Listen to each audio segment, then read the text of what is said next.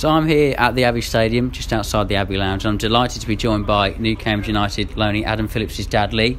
Thank you for joining me, Lee. Oh, you're welcome. No problem. Um, so firstly, we'll, we'll start with um, Adam, and, and you know, firstly we'll talk about his career so far. Just for those who don't know, can you just give us a bit of an update on his on his career, career so far and how he's got where he is today? Uh, he originally started at um, Blackburn Rovers, uh, played there till he was about um, about 11, and then uh, moved on moved on to Liverpool Academy uh, where he spent probably nine years there, um, playing in uh, playing in the academy there, um, right through to uh, under 23s level, um, and then uh, unfortunately.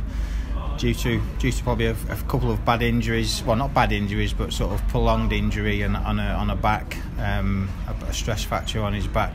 Uh, sadly, he got released. So um, he uh, he was sort of become available, you know, a free agent, so to speak. Um, and then uh, Norwich, uh, Norwich had watched him and was interested in him, so that was where he, he ended up. Brilliant. And uh, you know, so he was. I guess you say he was, at, he was at Liverpool so for nine years, was it? Yeah, nine years. Yeah, yeah. Nine years. So, so I guess in in the academy, you're sort of cocooned, if you like, in, in one club. And then how, how do you then deal with um, being released? How did he how did he react from obviously a young teenager? How was he? How did he deal from that and pick himself up from that?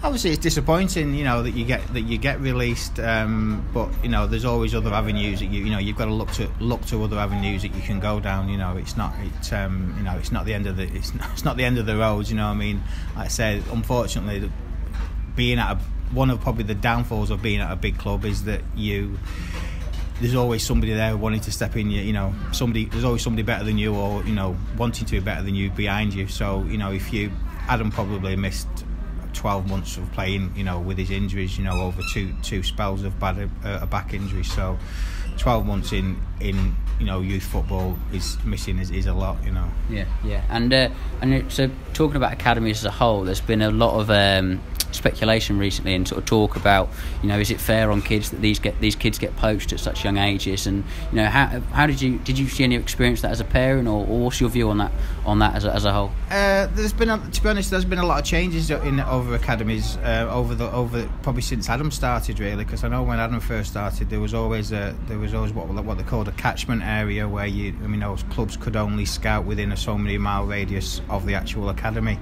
there was always little loopholes as to how they could get around it. But um, probably over the last probably four four or five years it has changed so the radius has become nationwide.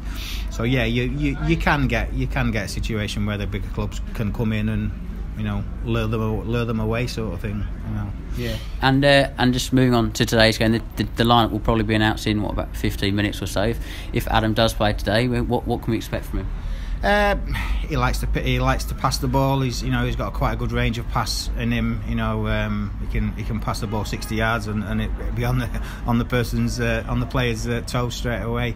Um, he like he likes a set piece. Whether he'll whether he'll get into that today, I don't know. Uh, with him being you know first game, um, but yeah, he's, he's a he's a very good reader of the ball. You know he'll you know of the game I should say he'll, he'll you know pick a pass out. You know so um, whatever way on the floor, in the air, you know. But uh, you know, and, and also you know, like likes a good tackle as well. Yeah, and you speak about people like reading the game, a good reader of the game. What do you reckon sets players apart at academy level then? Because obviously they're all going to be a, a, high standard of, of ability. What then sets them apart to then go on and reach the, the top level or, or you know level of, of playing regularly week in week out? Um, I think I think it's you know it's it's been switched on between you know between you know learning quicker, you know, between each other. You know, you know, because sometimes you can you at the, at the lower when when they when they first do start, they can, you know, you you can sometimes see the, the better players that obviously shine more, and they're not always reading a game better than a than a you know than a you know, you know than a normal player. So it's it's general trying to get everybody to, to you know to read the game together, sort of thing. You know, in that sense. Yeah, brilliant. And uh, and sort of talking then about CUF Cambridge United and how um, this move came about, was it always planned when he was at Norwich that he would go out on loan at this stage, or or was there just an offer came in from Cambridge and, and it seemed right? It was well. It wasn't necessarily planned straight from the off, but obviously, you know, depending on his on his on his position at Norwich, you know, um, um, he was getting obviously regular, which he ha- he hasn't been doing for probably six months. He'd been getting regular 23s game, and it, it's unfortunately come to a stage in the 23s where it was like he needed that next step, you know, and there wasn't a there wasn't a regular place available at Norwich, so you know the club recommend you know that your next step is go out on loan to to get the you know to get the regular football and as they call it men's football.